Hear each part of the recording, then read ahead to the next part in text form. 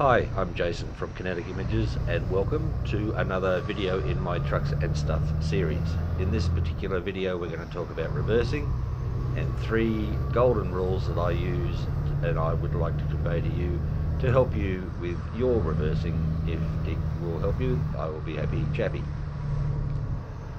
First one is approach the job on the driver's side at all times if you can. The left hand side is called the blind side and it's no good for anybody. So if you can approach on the right hand side that would be great. Go down and do a UE and come back if you have to, but it'll help you. The next one is get out and look. G-O-A-L, which you'll see on a lot of uh, the acronym on a lot of wing mirrors of fleet trucks. And the third one is straighten up, get yourself lined up as straight as possible to make it as easy as possible for your objective. My objective is McDonald Auctions today and here is the S that I've got to do with the trailer to get around all these obstacles and the number one obstacle from McDonald is his building. Don't hit it. Again from the inside you can see all the obstacles I've got, the building and the S-bend the trailer has to take. He's a nice bloke, his, his, that building's been hit quite a few times but not by me and uh, we like to make things as painless as possible for our clients and both for the owner of the truck and Mr. McDonald in particular. So I've pulled up, I've cleared his driveway and I'm going to get out and have a look and have a chat to him to make sure it's all cool to come inside, which he said no worries, he'll keep an eye out for me and that's all good, I won't bore you with those details. So my number third, my, sorry, my third rule was to line yourself up to make it as easy as possible um, to, so you can see your objective in the driver's side mirror and make life a lot easier. There's plenty of room in front of me, so why not use it? The trailer's now lined up to the right hand side of the gate as you see it, view it from this angle.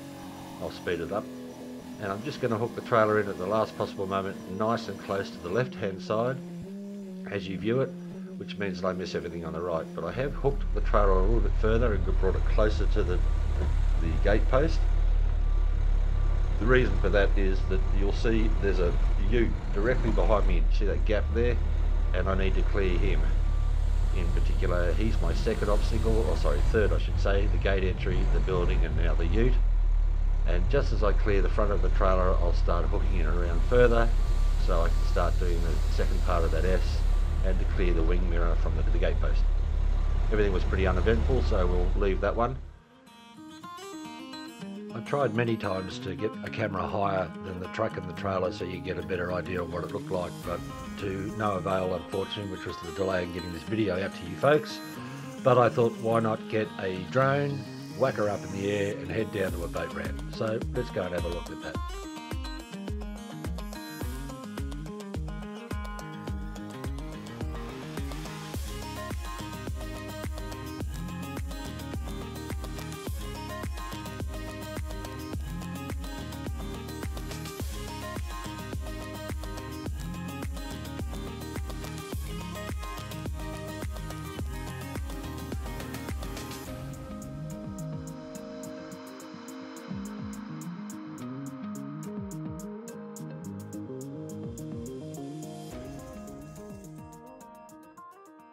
Now please folks note that I'm not having a go at anybody here. I'm just trying to convey my three golden rules and whether it helped or hindered any of these people.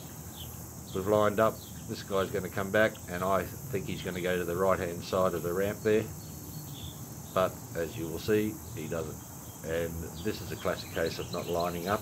He doesn't need to get out and look. He doesn't need to approach from the left because there's plenty of room with all due respect, kudos to him. He got in, no dramas, no damage, no issues, but he made life a lot harder than he really needed to. A simple line-up would have been great. He would have just used his wing mirrors. Old mate in the jet ski. Jet skis are harder because they're narrower than your two mirrors on the side of your truck, or your car in this case, sorry. And I think that he's used his centre mirror because at the back of that jet ski are a couple of aids that I think he's using to look straight through his back mirror and reverse it down. And again, no dramas, a little bit of a wiggle, but that's normal.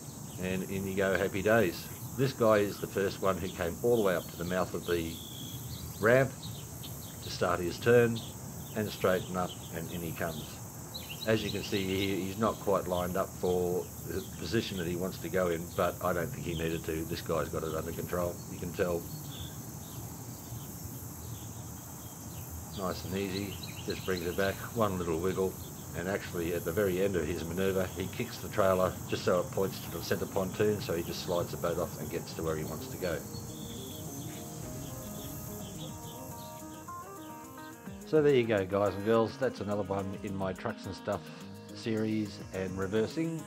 I've always got a drone with me or my action cameras with me and I've just bought some 360 degree action cameras. So I'd love to do some more videos if I can get some good feedback from you folks. And you could let me know that you'd want to see something like hooking up or operating the crane that we have on the back of the truck etc so I hope everybody's doing well in these COVID times. It's pretty stressful but um, you know just stay safe. And it would be nice to see you in my next video or two. It would really, really help if you subscribed and shared the video and commented. It costs you nothing and it would really help me and give me incentive to progress and do more videos because I really enjoy it. So thanks very much, take care and be safe. Cheers.